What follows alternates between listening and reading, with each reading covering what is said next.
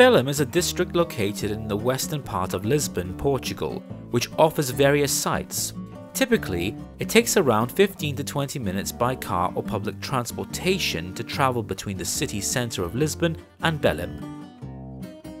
Our first stop is Jerónimos Monastery or the Monasteiro dos Jerónimos, which is a magnificent testament to Portugal's rich history and architectural prowess. This grand edifice, which has stood the test of time for over five centuries, is a true jewel in the crown of Portuguese cultural heritage. The monastery, which was built during the height of Portugal's golden age, is a masterpiece of Manueline architecture, a style unique to Portugal. Commissioned by King Manuel I in the early 16th century, this UNESCO World Heritage Site is an embodiment of the nation's wealth and power during the age of exploration, it was constructed with riches brought in from newly discovered lands, including Africa, India, and Brazil. The intricate and ornate facade of the monastery is a sight to behold. It is adorned with an array of maritime motifs, such as ropes, anchors, and seashells, signifying Portugal's prowess in navigation. The monastery's cloisters are an exemplar of Manueline architecture, characterized by its intricate lace-like stonework and imaginative decoration. The delicate details and rich symbolism in the architecture evoke a sense of wonder. Within the Jerónimos monastery, one finds the Church of Santa Maria, an integral part of the complex. Its grandeur is enhanced by the slender columns, towering vaulted ceilings, and magnificent stained glass windows that allow a soft ethereal light to filter through, creating a serene atmosphere.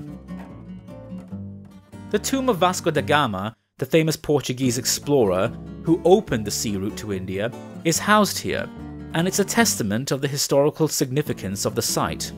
The monastery was initially inhabited by Hieronymite monks who dedicated their lives to prayer and meditation. Their devotion to seafarers and explorers earned them the title of protectors of sailors, and the monastery was often a departure point for those embarking on daring voyages. Over the centuries, the Jerónimos Monastery has borne witness to numerous historical events, including the 1755 earthquake that ravaged Lisbon. Although the monastery was damaged, much of its intricate stonework survived the devastation, testifying to its enduring strength and resilience. Strolling along the riverfront, you'll encounter the Monument to the Discoveries, a grand tribute to Portugal's explorers.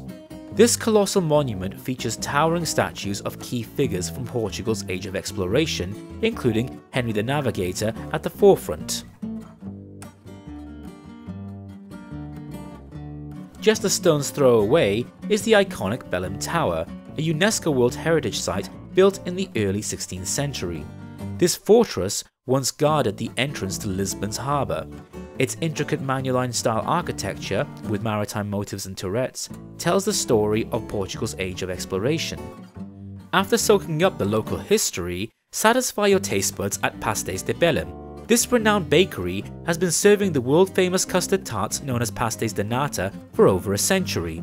The secret recipe is closely guarded, and the results are nothing short of heavenly.